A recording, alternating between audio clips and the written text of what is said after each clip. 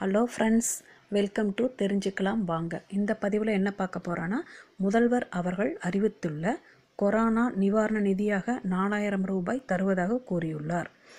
இதில் முன்பணமாக இரண்டாயிரம் ரூபாய் மே பதினைந்திலிருந்து பட்டுவாடா செய்ய உள்ளனர்.